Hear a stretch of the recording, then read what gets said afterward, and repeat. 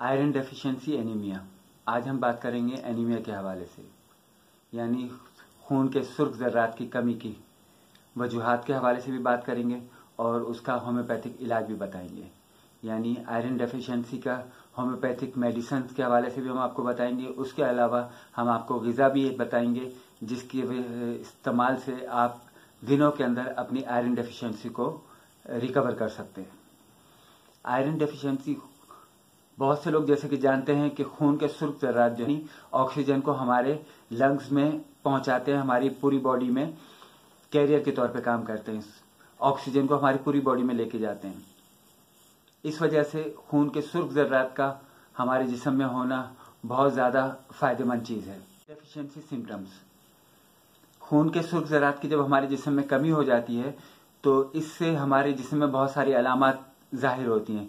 जैसा कि जल्दी जल्दी सांस का फूलना थोड़ा सा चलने के बाद ही सांस का फूलना, या चेहरे का जर्द हो जाना, या दिल की धड़कन बाजू का तेज हो जाती है, क्योंकि खून प्रॉपर तौर पे दिल को नहीं पहुँच पा रहा होता, या ऑक्सीजनेटेड ब्लड जो है, दिल को नहीं सप्लाई हो रहा होता तो उसकी वजह से भी क्या होता है कि हमारा सांस फूलने का मसला हो जाता है।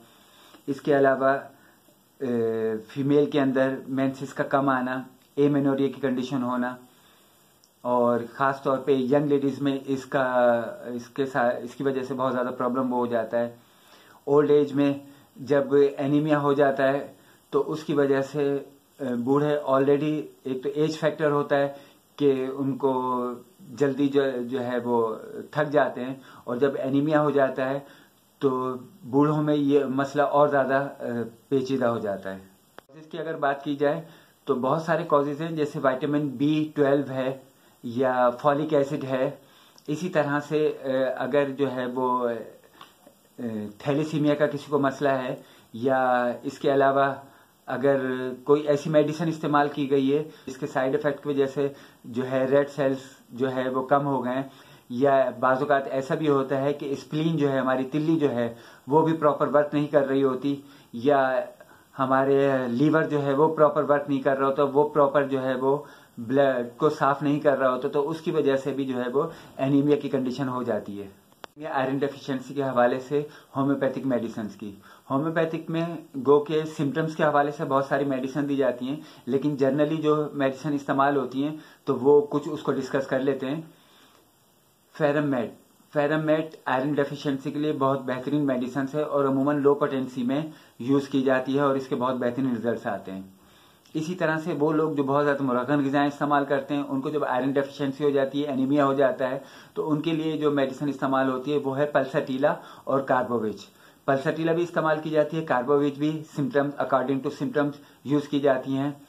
इसके अलावा जो सिम्टम के हवाले से जब बहुत ज़्यादा एक्सिस ब्लड हो जाए, यानी ऐसी फीमेल जिनको मेट्रोराजिया का प्रॉब्लम हो जाए या एक्स, या ब्लड उनकी डेफिशिएंसी ज़्यादा हो जाए तो ऐसी कंडीशन में चाइना और कलकेरियर का, चाइना ऐसी मेडिसिन है जो अमूमन दूसरी वीकनेसेस में भी दी जाती है और साथ में जब ब्लड डेफिशिएंसी हो जाती है, किसी भी वीकनेस की वजह से वो वीमेन्स जो ज़्यादा वर्किंग करती हैं, या जो मदर फ़ीड पे जो बच्चे होते हैं और ऐसी फीमेल जो बच्चों को फ़ीड करवा रही हैं, उनको भी चाइना यूज़ करवाई जाती है। यहाँ पे अब हम बात करेंगे गज़ा के हवाले से। जैसा कि बेशतर लोग जानते हैं, अंगूर अंगूर वो ऐसी गज़ा है जो खून की कमी को बहुत तेज़ी के साथ पूरा कर देती है। और चूँकि अंगूर तो हर हर वक्त नहीं मिल पाते तो ऐसी कंडीशन में जब आप किशमिश का इस्तेमाल करते हैं तो वो आपके एनीमिया को बहुत अच्छे रिज़ल्ट देती है।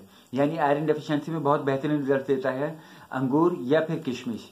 किशमिश अमूमन जो लोग इस्तेमाल करते हैं, ज़्यादातर जो बताया जाता है कि वो रात को भिगो दें और सुबह जो है वो किशमिश खाकर उसका पानी पी लें। उसके अलावा भी आप किशमिश इस्तेमाल कर सकते हैं, लेकिन एक बात याद रखिएगा कि कभी भी आठ दस दाने किशमिश से खून की कमी पूरी नहीं होती। जब तक आप कम अज कम कम अज कम भी जो एक मोहतात रवैये के मुताबिक कम से कम भी 40-50 अदद जो किशमिश जो है, वो आप डेली इस्तेमाल करते हैं तो विद इन अ वीक आपको बहुत बेहतरीन आयरन डेफिशिएंसी के हवाले से रिजल्ट्स मिलते हैं।